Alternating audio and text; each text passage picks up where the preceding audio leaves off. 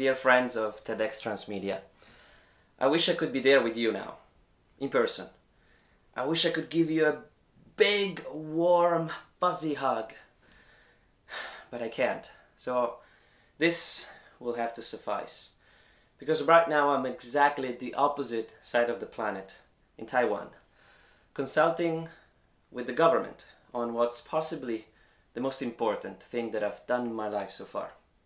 Seeing if we can work together and improve the lives of millions of people through education and new ways of learning through a project called uh, Esplori. It sounds funny. If I look back into my past, very few would have bet on me. In fact, I was the loser, I was the geek, the nerd. I remember when I was 14, uh, middle school was close to an end, and I, I had to decide which kind of high school I was to attend. And my teacher told my mom that I wasn't one of the smart kids. I wasn't good enough.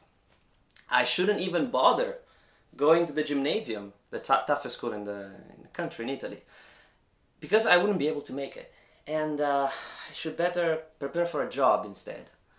My mom, of course, being the awesome mom that she is, didn't listen to that pile of nonsense and sent me precisely to the school that they said I wouldn't be able to attend.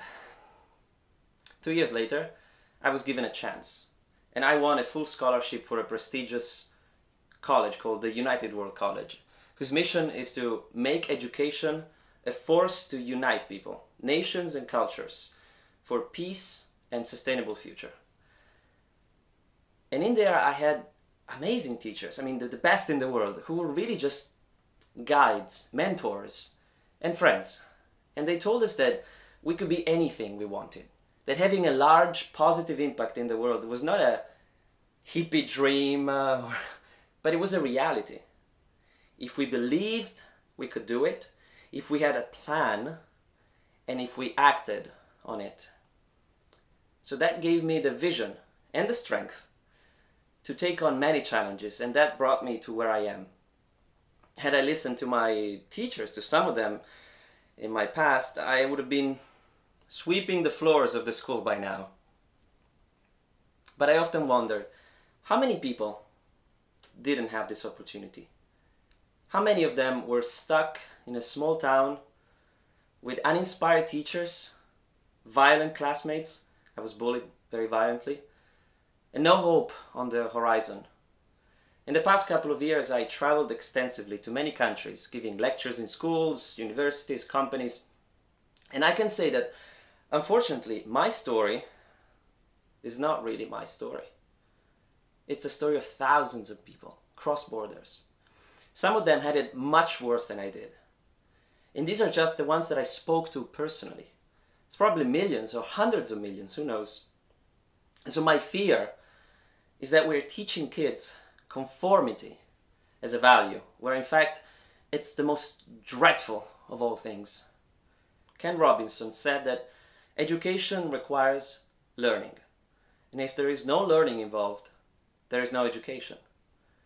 I agree passionately with that statement, and I would add that learning requires passion, it requires curiosity, and that often requires a human being a person, somebody who believes in you, who can give you a chance, somebody who can tell you, no, you are not stupid, no, you're not crazy, go for it. We should be fostering the creativity of our kids. And I think that has a lot to do with mentorship, with guidance, with being human. And that's what I'm working on. That's why I'm here now in Taiwan and I can't be there with you in Rome. I hope I will have a chance to meet you in person at some point and give you a proper hug. But I want to leave you with this.